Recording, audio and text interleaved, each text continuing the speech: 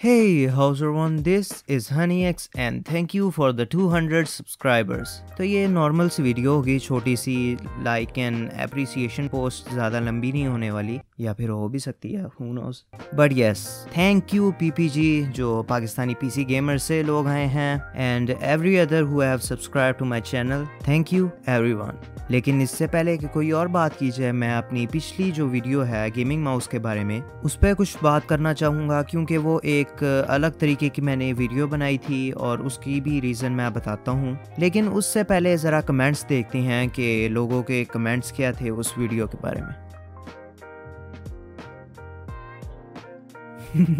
Well yes 18 वाला भी होता है और इवन 20 बटन्स वाला भी होता है।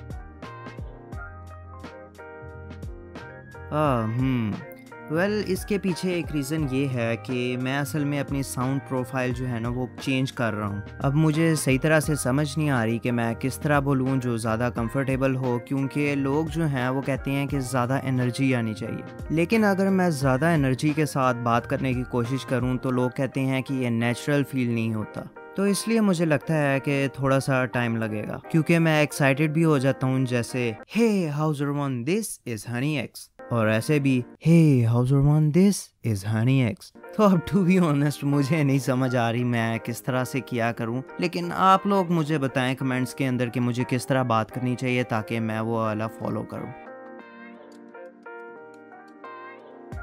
हाँ हम्म यस ये बात सही है कि टेक्स्ट ओरिएंटेशन थोड़ी सी ख़राब थी क्योंकि जिधर मेरा हैंड था, उसके नीचे टेक्स्ट आना था। तो हैंड जो मेरा था, वो सेंटर में नहीं था, जिसकी वजह से टेक्स्ट भी सेंटर में नहीं हो पा रहा था तो इसलिए मुझे जो है ना, वो टेक्स्ट ओरिएंटेशन थोड़ी सी ख़राब करनी पड़ी थी। तो ये वीडियो जो थी, ये असल में एक एक्सपेरिमेंटल वीडियो थी। बेसिकली इसके पीछे आइडिया ये था कि कैमरा यूज़ किए बगैर आप वीडियो कैसे बना सकते हो। क्योंकि एज़ मेरे पास कोई कैमरा भी नहीं है, और दूसरा ये कि मैं अफोर्ड भी नहीं कर सकता तो इसलिए मैं ऐसा कोई वे ढूंढ रहा था कि जिससे एटलीस्ट प्रेजेंटेबल वीडियो बन सके। ना मुझे पता है कि काफ़ी यूट्यूबर्स कहते हैं कि कैमरा होना ज़रूरी नहीं है, ये चीज़ होनी ज़रूरी नहीं है, वो चीज़ होनी ज़रूरी नहीं है। तो मैं ये बताना चाहूँगा कि ये डिपेंड करता है कि चैनल किस तरह का है और चैनल पर डिपेंड करता है कि उसको कैमरे की ज़रूरत है या नहीं है। पर्सनली मुझे काफ़ी मुश्किल पेश आती है। लेकिन फिर अगर मैं कैमरा ले लूँ तो उससे आगे भी फिर मुझे चीज़ें चाहिए होंगी, जिसकी वजह से मैं नहीं ले रहा। फॉर एग्ज़ाम्पल अगर मैं कैमरा लूँगा तो मुझे एक वर्क स्पेस चाहिए होगा, जो कि अगेन मेरे पास नहीं है। उसके बाद मुझे लाइटिंग कंडीशन चाहिए होंगी एंड एज यूजल वो भी नहीं है। तो आई एम टेस्टिंग के किस तरह जो है, मैं वन थाउज़ेंड सब्सक्राइबर्स तक कोई ऐसा काम निकालूँ कि जिससे आप लोग भी इंटरेस्ट हों,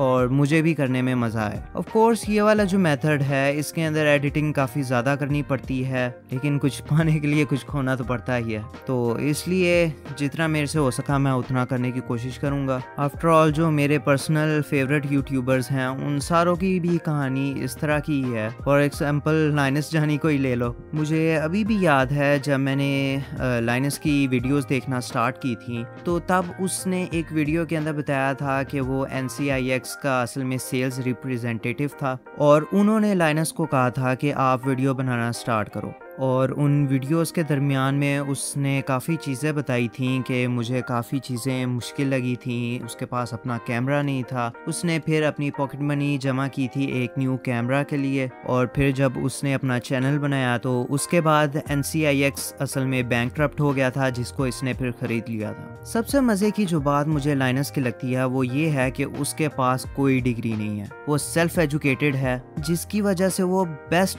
प्राइम एग्ज़ाम्पल है that you don't need a degree in order to become इसके अलावा सबसे फ़ेमस यूट्यूबर को ले लो प्यूडी पाए उसकी भी यही सेम कहानी है। जब उसने यूनिवर्सिटी की डिग्री स्टार्ट की थी तो वो हॉट डॉग का स्टैंड लगाता था और उसके बाद उसने यूट्यूबिंग जब स्टार्ट की थी तो उसने यूनिवर्सिटी छोड़ दी थी। तो इसलिए जो है, मेहनत तो करनी ही पड़ती है हर चीज़ के ऊपर। लेकिन मसला ये है कि कभी कभी बंदा डिप्रेस हो जाता है या डिस्करेज हो जाता है, क्योंकि उसके साथ के स्टार्ट होने वाले जो यूट्यूबर्स हैं, वो 1000 या 2000 सब्सक्राइबर पे पहुँचे होते हैं, जबकि आप जो हैं, वो वहाँ के वहाँ ही बैठे होते हैं। Just because they have better equipment या उनके पास बेटर फैसिलिटी है तो उससे बंदा लेट डाउन होता रहता है। बट यू नो वट बंदा ऐसे ही सीखता है। इसी नेगेटिव एनर्जी को अगर हम यूज़ करें अपने पैशन को आगे इंक्रीज करने के लिए तो ये नेगेटिव एनर्जी एक पॉजिटिव एनर्जी के अंदर कन्वर्ट हो सकता है। इस बात का मतलब ये है कि ये जो नेगेटिव एनर्जी है, ये आपको फ्यूल अप कर सकता है आपके पैशन को until you finally succeed okay enough depression हो गई। इसके अलावा मैंने बात करनी थी गिव अवे के बारे में। असल पे मैंने 100 सब्सक्राइबर पे गिव अवे रखना था, लेकिन दरमियान में ये लॉकडाउन वाला सिनेरियो आ गया पूरा, जिसकी वजह से मैं नहीं कर पाया लेकिन अब मैं सोच रहा हूँ कि